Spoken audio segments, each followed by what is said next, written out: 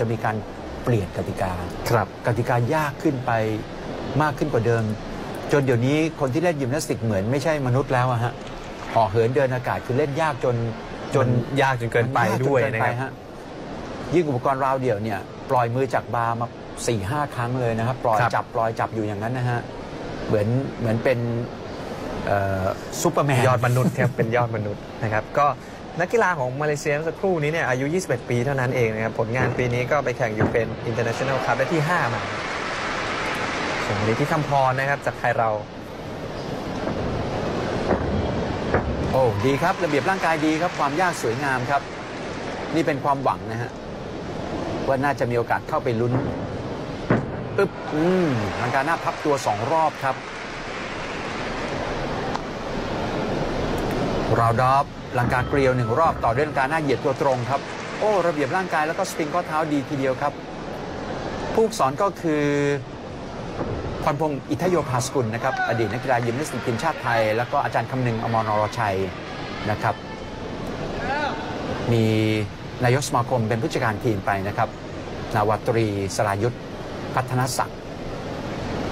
แล้วก็มีอาจารย์ศักดิ์สิทธิ์สุวรรณสาเป็นผู้ช่วยผู้ฝึกสอน เอาละฮะซีรีส์สุดท้ายแล้ว มาดูว่าที่กำพรจะใช้ท่าอะไรครับ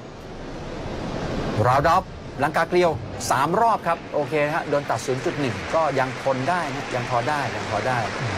นะครับทำได้ดีเลยนะครับสำหรับที่คำพรครับผมเห็นหุ่นนักกีฬาคนนี้แล้วทำให้ผมนึกถึงใครรู้ไหมฮะใครครับวิรัตนุตเวศแบบนี้เลยครับครับ ผมทรงนี้เลยฮะรูปร่างประมาณนี้เลยฮะแล้วก็เขาก็เก่งฟลอยด์เกอร์ไซด์ด้วยเหมือนกันครับ แต่ที่สำคัญวิรัตนุตเวศเนี่ยเราดรอปลังการหลัง 2 รอบ เอ็นร้อยหวายขาด ระหว่างที่คัดตัวไปเอเชียนเกมมาถึงนักกีฬาไทยอีกคนหนึ่งในอุปกรณ์ห่วงนิ่งครับ 1 2 3 ครับ คนนี้ก็คือที่คำพรสุรินทะที่คำพรเนี้มีปัญหาการบาดเจ็บที่ข้อมือ เพราะฉะนั้นอุปกรณ์ที่เป็นอะไรที่เป็นค้ำๆยันๆ เช่น บาคู่กับม้าหูเนี่ยเขาจะมีปัญหามากครับ ผ่าตัดมาหลายครั้งแล้วนะฮะข้อมือเจ็บครับ แต่ว่าโดยความแข็งแรงนี่ถือว่าใช้ได้เลยนะครับเนี่ยครับขึ้นไปกางเขนห้อยลงมานิดนึงนะครับ แล้วก็ปลดไหลที่คำพรปีนี้อายุ 21 ปีนะครับ เป็นนักกีฬาจากสมุทรสาครอ๋อขึ้นไปจะต่อขนานหลังหรือจะต่อ L support นะครับ ดูกำกำกึ่งกึ่งๆอยู่นิดนึงห่วงไกวนะครับจะ มีปัญหาในข้อมือจริงๆนะครับ ดูใช่ครับไม่ค่อยนิ่งเท่าไหร่ครับ จบแล้วครับ สวิงขึ้น 6 สูงอีกครั้งหนึ่งโอ้โยกครับโยกครับ แล้วก็จบด้วยลังกาหลัง 2 รอบเกลียว 2 รอบครับ double back double twist นะครับท่านี้เป็นท่ายากครับ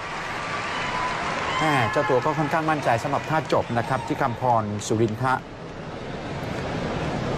นักกีฬาจากไทย We would like to คะแนน announce คือเจ้าภาพเนี่ยยังไม่ได้ขึ้นแต่ว่าทางเว็บไซต์ยังเป็นทางการนะครับของ from การแข่งขันก็ทางด้านรัฐศาสตร์การบุญเนี่ยทำคะแนนไป 10.750 นะครับจากจะส่งตรงไหนมาให้เราชมกันนะครับ ปัญหาของเจ้าภาพฟิลิปปินส์ในวันนี้เนี่ยผมเชื่อว่าเป็นอะไรที่ค่อนข้างอึดอัดมากเลย ก็คือว่าหลังจากที่ยิมนาสติกแข่งขันจบแล้วเนี่ยโดยสากลจะต้องขึ้นคะแนนมาให้ได้ทราบนะครับว่าคะแนนได้เท่าไหร่ครับแต่ว่านี่เจ้าภาพยังไม่ขึ้นคะแนนให้เราได้รู้เลยสักคนเดียวนะครับ ผ่านมาหลายอุปกรณ์แล้วนะฮะ แต่ว่าเดี๋ยวก็คงจะทราบภาพรวมๆนะครับนักกีฬาทีมชาติไทยครับ รัฐศาสตร์การบุญนะครับ ซึ่งก็ถือว่าเป็นนักกีฬายิมนาสติกดาวรุ่งอีกคนหนึ่งที่กำลังมานะครับก็ห่วงนี่มีความสูง 2 เมตร 55 เซนติเมตรนะครับโอ้เป็นลังกาหน้าสองรอบแล้วก็สู่กางเขนเหล็กยังไม่ยังไม่สมบูรณ์แบบเท่าไหร่นะครับ แล้วก็ต่อด้วยขนานหลังทิ้งตัวลงมาเวียงขึ้นสู่ท่ายกฉากครับ L support แล้วก็พยายามจะเหวี่ยงขึ้น 6 สูงนะครับ แต่แขนยังเหยียดไม่ตรงนะคะแนนถูกตัดไปในเรื่องของความสมบูรณ์ห่วงโยกจบแล้วครับลังการลังสองรอบเกลียวหนึ่งรอบนะครับ ลงมาสู่พื้นได้ดีครับ แต่ว่าท่านั้นไม่ได้ยากอะไรมากเท่าไหร่นะครับ ก็ถือว่าน่าจะเป็นการลงไปหาประสบการณ์ซะมากกว่านะครับสำหรับ Samon Promani sẽ thực hiện bài thi của mình.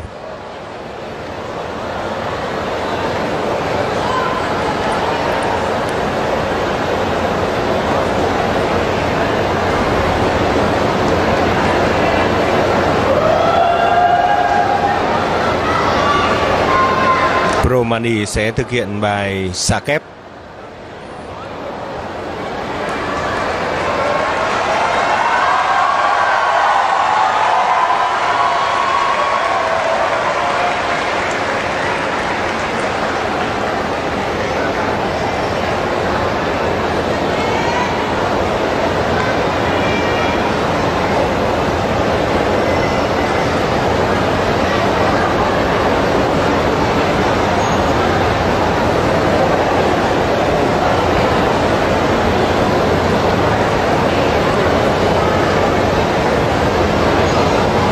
Rất chắc chắn và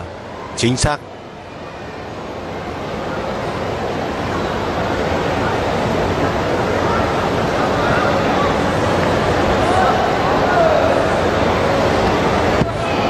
Tiếp đất thành công.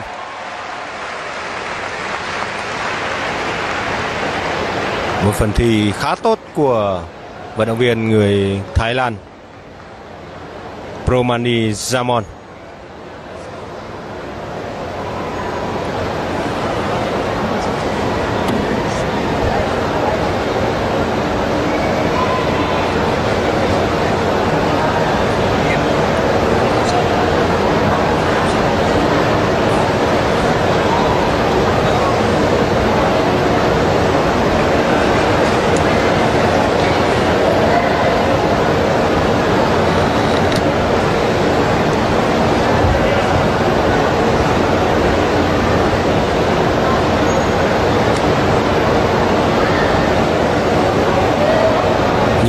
Games. Hopefully, you and I can be back again to do the women's uh, in the next few days.